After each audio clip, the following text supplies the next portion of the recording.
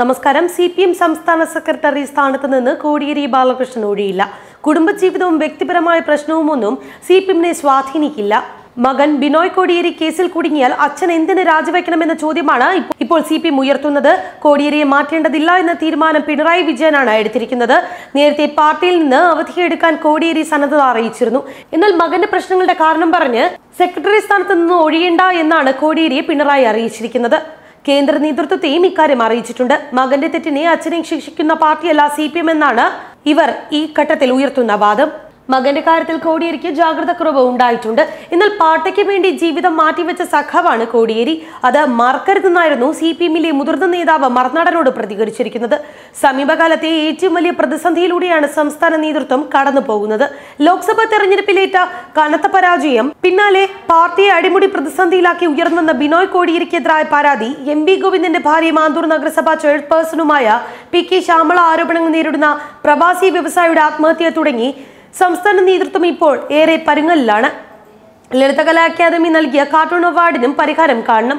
Cartoon പിൻവലിക്കണമെന്ന സർക്കാർ ആവശ്യം academy അംഗീകരിച്ചിട്ടില്ല.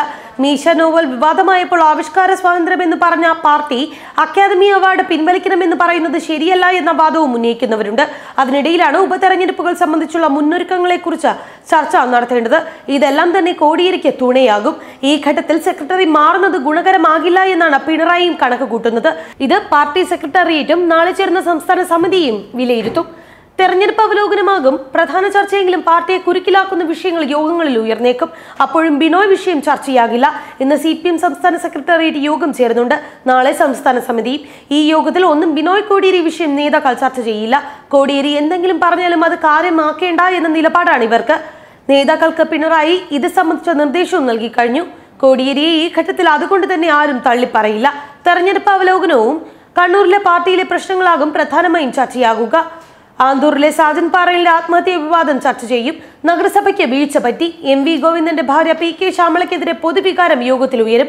സംസ്ഥാന കമ്മിറ്റിയിൽ പി ജയരാജൻ ഈ വിഷയം ഉന്നയിക്കുമെന്നും ഉറപ്പാണ്. ഇതിനൊപ്പം സി യു ടി നസീർ വധശ്രമ കേസും പാർട്ടി ചർച്ചയാക്കും. ഇത് രണ്ടും സി പി എമ്മിന് പേരുദോഷമായെന്ന് സംസ്ഥാന നേതൃത്വം തിരിച്ചറിയുന്നുണ്ട്. യോഗത്തിന് എ കെ ജി സെന്ററിലെത്തിയ കോടിയേരി പിണറായിയുമായും ചർച്ച നടത്തി. അതിലും കടുത്ത തീരുമാനം വേണ്ടെന്ന നിലപാടാണ് പിണറായിക്ക്. ബിനോയ് കോടിയേരിക്കെതിരെ വിവാദമുയർന്നപ്പോൾ തന്നെ കോടിയേരി അവധിയെടുക്കാനുള്ള സന്നദ്ധത അറിയിച്ചിരുന്നു. ആ സമയത്ത് പിണറായി വ്യക്തമായ തീരുമാനം എടുത്തിട്ടില്ല എം ഗോവിന്ദനെ പാർട്ടി സെക്രട്ടറിയാക്കുന്നതും ആലോചിച്ചു. അപ്പോഴാണ് ആന്തൂരിൽ വിവാദമുണ്ടാകുന്നത്. കണ്ണൂരിലെ പാർട്ടിയിൽ വിഭാഗീയത ആളിക്കത്തി പി ജയരാജനെ വീണ്ടും സെക്രട്ടറി ആക്കണമെന്ന ആവശ്യം പ്രവർത്തകരും ഉന്നയിക്കുന്നുണ്ട്. ഈ സാഹചര്യത്തിൽ കണ്ണൂരിൽ നിന്ന് പുതിയൊരു സെക്രട്ടറിയെ കണ്ടെത്തൽ അസാധ്യമാണ്. മറ്റ് ജില്ലകളിലേക്ക് സെക്രട്ടറിയുടെ അധികാരം കൊടുക്കാനും താല്പര്യമില്ല അതിനാൽ കോടിയേരി തുടരട്ടെ എന്നാണ് പിണറായിയുടെ നിലപാട്. യോഗങ്ങളിൽ കോടിയേരി വേദനിപ്പിക്കുന്ന പരാമർശങ്ങൾ ഉണ്ടാക്കുന്നില്ലെന്നും പിണറായി ഉറപ്പിക്കും. ഇനി സ്ഥാനം ഒഴിഞ്ഞേ മതിയാകൂ എന്ന കടുംപിടുത്തം കോടിയേരി എടുത്താൽ അത് അംഗീകരിക്കുകയും ചെയ്യും. എന്നാൽ പാർട്ടിയെ പ്രതിസന്ധിയിലാക്കി കോടിയേരി രാജിവെക്കില്ല എന്നാണ് പിണറായിയുടെ കണക്കുകൂട്ടൽ.